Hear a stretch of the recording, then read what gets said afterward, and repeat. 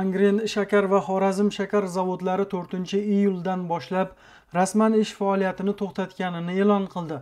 Biroq bbc manbasining aytishicha yuqoridan bosim bo'lgach zavod direktorlari ushbu xabarni inkor qilib zavodda profilaktika ishlari olib borilayotgani va u tez kunda ishga tushishini aytib raddiya berishga majbur bo'lgan. Zavoddagi bbc manbasi bir vaqtlar arzimas pulga tortib olingan zavodlarni yana bo'lib olishga harakatlar bo'layotganini aytdi. Manbaning aytishicha ishlab chiqarishni sindirish uchun importchilarga teng bo'lmagan sharoitlarda imtiyozlar berilmoqda. Zavod esa vaqtida hukumat tomonidan kredit olishga to'siq qo'yilishi evaziga o'z vaqtida xom ashyo sotib ololmagan.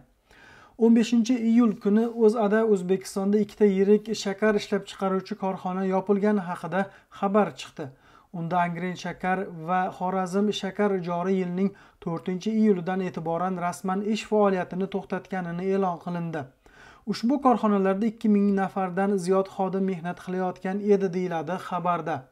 Biroq oradan bir kun o'tib zavod direktorlari faoliyatni to'xtatilishi vaqtincha ekanligini aytib raddiya berishdi. Hozirgi paytda bizani korxonamizni ish faoliyatini to'xtatilgani deyarli bu noto'g'ri fikr.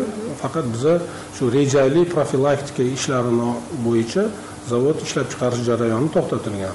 Bbcning ushbu zavodlardagi manbasining aytishicha aslida zavodlarda ish xom ashyo yetishmasligi sabab iyun oyining o'rtasida to'xtagan. Sotilmaganligi sabab zavod omborlari shakar bilan to'lib turibdi. Zavod direktorlari esa yuqoridan bosim ostida shunday raddiya berishga majbur bo'lgan. Braziliyada yetishtiriladigan shakar qamishlarni nyu york birjasida narxlar tushgan vaqti sotib olardik. Har bir tonnasini 250 dollardan sotib olish uchun o'tgan yil shartnoma imzolanishi kerak bo'lgan bir vaqtda o'zbekistonda banklardan kredit ololmadik. Hukumat 250 million dollar kredit olishimizga izn bermadi. Natijada arzon ham ashyosiz qoldik deydi u.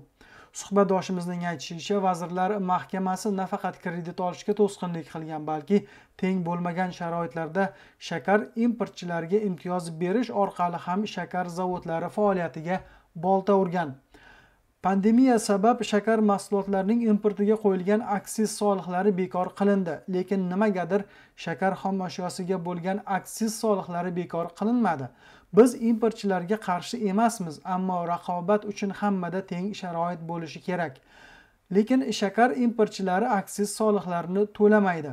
Yana biz kabi qo'shimcha qiymat soliqlari ham to'lamaydi. Yana boshqa omillar sabab ularning mahsuloti arzon sotilmoqda deydi u. zavod rasmiysining ta'kidlashicha ular sog'lom raqobatdan qo'rqmaydi biroq shartlar barcha uchun teng bo'lishi kerak. Biz aksiz solig'idan tashqari bir yilda qo'shimcha qiymat soliqlari va boshqa soliqlar doirasida davlatga 200 milliard so'mga yaqin soliq to'laymiz. Yana mahsulotlarimiz birja orqali sotishga majburmiz. Ayni paytda zavodlar ishlab chiqarish tan narxining ustiga har bir kilo shakarga 50 so'mdan foyda qo'yishga majbur bo'lyapti.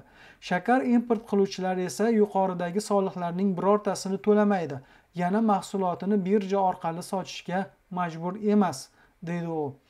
Rossiyaga qo'yilgan sanksiyalarning o'zbekistondagi shakar zavodiga qanday ta'siri bor? G'arb tomonidan rossiya shakarini sotib olishga qo'yilgan taqiqlar rossiyaning o'zida bir nechta zavodning yopilishiga olib kelgan. Rossiya hukumati mamlakatdagi ishlab chiqaruvchilarni qutqarish uchun shakarni sobiq sho'ro davlatlariga sotish uchun imtiyozlar yaratib berishga harakat qilgan. O'zbekiston shakar zavodlari xomashyoni rossiya hududlari bo'ylab olib kelishga majbur.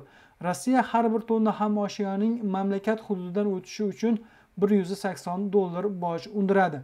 Agar tadbirkor rossiya hududidan tayyor rossiya shakarini olib o'tsa har bir tonnadan sakson dollardan haq olinadi. Bu albatta importchilar uchun juda ham qulay imtiyoz. Natijada biz kabi qozog'iston va qirg'izistondagi shakar zavodlari ham bankrot yoqasiga kelib qoldi. Bir nechtasi yopildi. Rossiya bo'lsa yevropaga sotolmagan shakarlarni mana shunday imtiyozlar evaziga bizga sotyapti. Ularning orasida uch yil oldin ishlab chiqarilgan shakarlar ham bor deydi suhbatdoshimiz. Qozog'istonda shakar zavodlari yopilgach raqobatsiz qolgan importchilar narxlarni ko'tarib yuborgani aytiladi. Suhbatdoshimiz o'zbekiston shakar bozorida ham narxlar qozog'istondagi kabi ko'tarilib ketishi mumkinligini aytadi. O'zbekiston shakar zavodlaridagi bbc manbasining aytishicha hokimiyat doirasidagi yuqori mansabdor shaxslarning zavodni egallash uchun ko'z olaytirishi ham unga nisbatan sun'iy to'siqlar yaratilishiga olib kelyapti. Yog'li joy har doim kimningdir ko'z ostida bo'lgan. 2018 yil sentyabrda zavodlarning asosiy hissadori ularni o'ta ta'sirli amaldorlarga arzimagan 5 million dollarga sotishga majbur bo'lgandi deydi u. Bbc manbasining aytishicha o'zbekistondagi shakar zavodlarining taxminiy va umumiy qiymati 300 million dollardan 600 million dollarni tashkil qiladi. Ammo narx borasida mustaqil manba ma'lumotlari deyarli yo'q. Bbc manbasi so'zlariga ko'ra 2019 yil boshida zavodlarni tortib olgan mansabdor shaxslar lavozimidan olingach uni yana eski sohiblari qaytarib oladi. Hozir ham shunday harakatlar bo'lmoqda. Toshkent shahrida yuqori lavozimli shaxs hissalarning 20 foizdan ko'prog'ini sotib oldi. Agar zavod bu shaxsning qo'liga to'liq o'tsa bozordagi narxlar osmonga sapchiydi deydi u.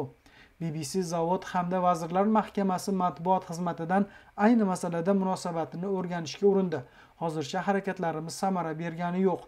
Tahririyat maqola mavzusi bo'yicha barcha tomonlarning fikr va munosabatlari uchun ochiq.